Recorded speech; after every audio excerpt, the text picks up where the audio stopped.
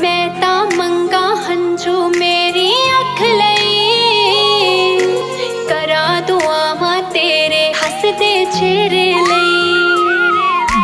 ਜਦ ਵੀ ਆਉਨੇ ਸ਼ਿਕਵੇ ਲੈ ਕੇ ਆ ਜਾਣਾ ਮੈਂ ਜਾਨ ਵਿਛਾਵਾਂ ਰਾਹਾਂ ਦੇ ਵਿੱਚ ਤੇਰੇ ਲਈ। ਜਦ ਵੀ